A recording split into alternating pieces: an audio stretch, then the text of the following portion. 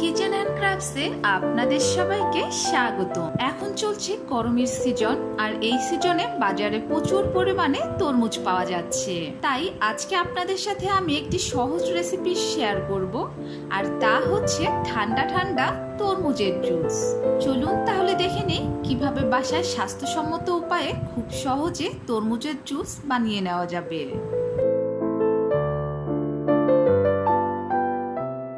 এর জন্য আমি একটি তরমুজ নিয়ে নিয়েছি।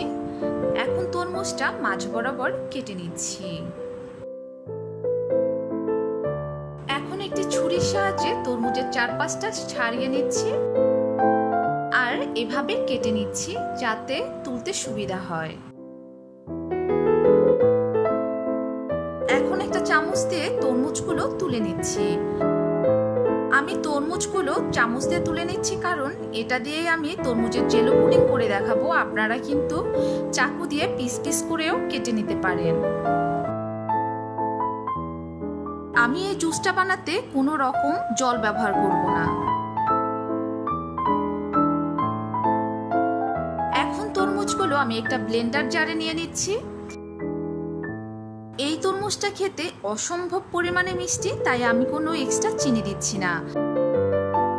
এখন 30 সেকেন্ডের জন্য ব্লেন্ড করে নিলেই হবে। ভালোভাবে ব্লেন্ড করা হয়ে গিয়েছে, এখন আমি একটি ছাকনি দিয়ে ছেঁকে নেব। ছাকনির উপরের অংশ ফেলে দেব। তরমুজের রস ছেঁকে নেওয়া হয়ে গিয়েছে। এখন দুইটি গ্লাসে তরমুজের জুস ঢেলে নিচ্ছি। আপনারা ইচ্ছে করলে এ পর্যায়ে ফ্রিজে রেখে ঠান্ডা করে খেতে পারেন বা বরফ দিয়েও পরিবেশন করতে পারেন।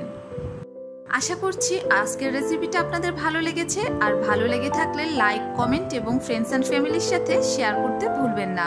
আর আপনি যদি আমার চ্যানেলে নতুন হয়ে থাকেন, তাহলে এরকম নিত্য নতুন মজাদার রেসিপি পাওয়ার জন্য আমার চ্যানেলটি সাবস্ক্রাইব করে রাখুন। আর পাশে থাকা বেল আইকনে ক্লিক করে রাখুন যাতে নতুন কোনো ভিডিও আপলোড দিলেই নোটিফিকেশন পৌঁছে যায় আপনার কাছে। সুস্থ থাকবেন, ভালো থাকবেন।